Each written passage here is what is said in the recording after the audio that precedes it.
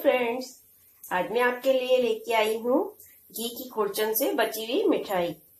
Friends ये देखने में जितनी सुंदर लग रही है, खाने में भी उतनी टेस्टी और यमी है।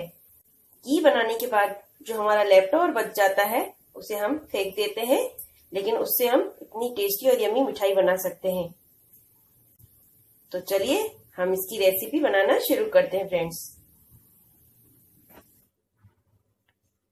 मलाई से घी निकालने के बाद जो कुर्चन बच जाती है, उससे हम यह मिठाई बनाएँगे फ्रेंड्स इसे हम एक कढ़ाई में डाल देंगे।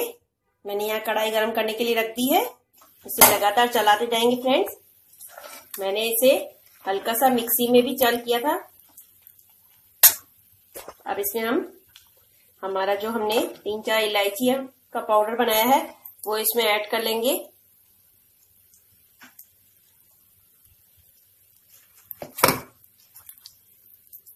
आधा बाउल करीबन हम इसमें शक्कर डालेंगे, लेकिन शक्कर को हम पहले पीस लेंगे। इसमें एक से दो चम्मच करीबन नारियल का बुरादा ऐड कर देंगे।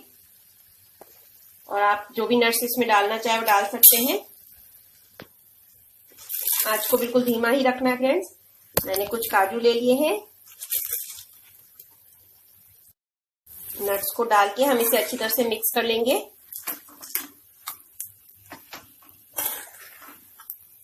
अब इसमें मैं मिल्क पाउडर डालने वाली हूँ, फ्रेंड्स। इसमें मैं दो चम्मच के करीबन मिल्क पाउडर ऐड कर दूँगी।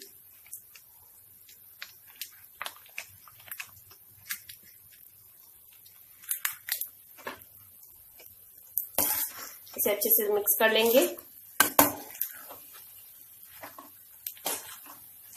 आँच को बंद कर लेंगे फ्रेंड अब इसमें हम शुगर पाउडर ऐड कर लेंगे।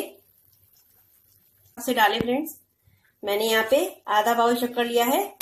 अब इसे अच्छे से मिक्स कर लेंगे। शक्कर को अच्छी तरह से मिक्स करके मैंने सिर्फ़ दो मिनट के लिए गैस को वापस ऑन कर दिया है, जिससे कि हमारी शक्कर जो है इसमें अच्छी तरह से मेल्ट होके मिक्स हो जाए।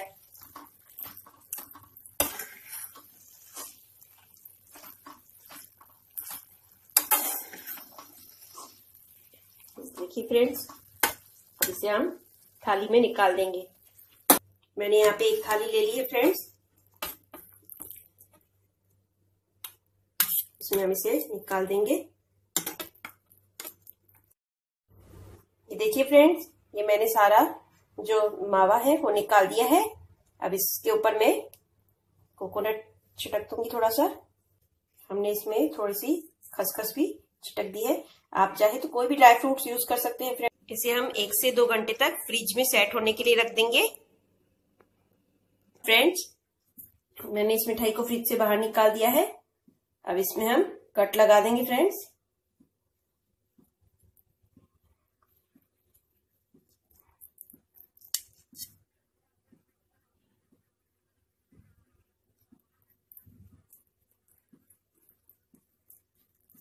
और इसमें जो साइड में एक्स्ट्रा घी बाहर आ गया है वो हम एक अलग छोटी कटोरी में डाल के किसी भी रोटी या सब्ज़ी में यूज़ कर सकते हैं।